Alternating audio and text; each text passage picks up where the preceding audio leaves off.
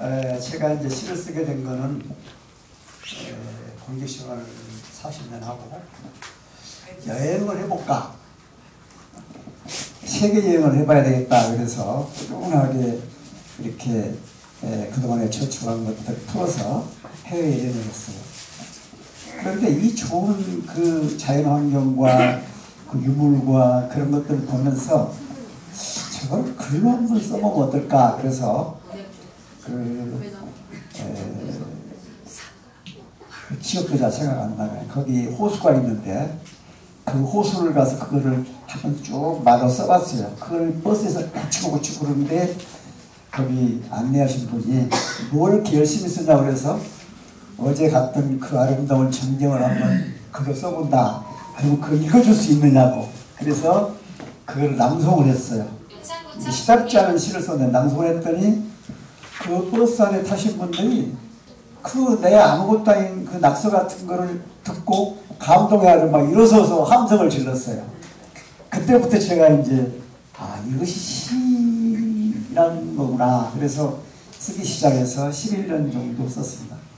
그래서 오늘은 이렇게 제가 영광스러운 자리에 서게 돼서 매우 감사하게 생각드리고 어떻게 생각하면 좀 겸연쩍기도 합니다. 에, 쇼펜하우가 쓴 인생론을 제가 읽은 것 같은데 거기에 이런 말이 써 있더라고요. 사람들이 살만 하면 어떻게 즐길까를 생각한다. 그런데 즐기는 방법 중에 운동을 해서 하는 경우도 있고 여러 가지 뭐 골프도 치고 또 뭐 여러 가지 뭐 노래도 하고 춤도 추고 다 할 수 있다. 근데 결론적으로는 그런 것들은 다 나중에 권태로 작용한다. 권태가 생기는 그러다 보면 결과적으로 마약에 빠지거나 허탈한 상태로 빠질 수밖에 없다. 인생은 그런 것이다. 이렇게 써있던 것 같아요. 그런데 그게 예외적으로 써놓은 게 있어요. 뭐냐면 올가곡을 작곡한 누구죠? 그런 분처럼 작곡가. 작곡가. 수학을 하고 그런 건 아니고 작곡가. 창작을 하는 작곡가. 그 다음에 고우나 이런 분들처럼 그림을 그려서 그걸 표현하고 있는 고도한 그런 창작적인 머리. 그리고 그 안에 속한 게 하나 있어요. 시를 쓰는 거. 박수 한번 쳐주세요. 그래서 인생을 참답게 즐기는 방법 중에 작곡가, 그 다음에 그림을 그리는 창작, 그리고 거. 이렇게 표현해놨어요. 그 제가 그걸 읽으면서 아 그러구나. 내가 이 말년에 글을 쓰는 게 굉장히 아름답고 영원한 창작적인 세계에 빠질 수 있는 위대한 것이구나.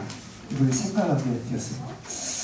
에, 그런 의미에서 시는 우리의 창작적인 머리와 고도한 사색과 이런 걸 우리에 주고 영원히 권태에 빠지지 아니할 수 있는 위대한 분야다. 이렇게 저는 스스로 생각하고 오늘 이 자리가 제 인생 생활하는 데 있어서 큰 획기적인 어떤 분수령이 되지 않을까 그렇게 생각하면서 오늘 이렇게 일이 고르지 못한 이렇게 어려운 날씨에도 많이 와주셔서 이렇게 축하해 주시고 박수 쳐 주신 것에 대해서 감사 말씀을 드리고 또 어, 주변에 여러 가지 여건을 제공해 주신 분들께 진심으로 감사드립니다. 대단히 감사합니다.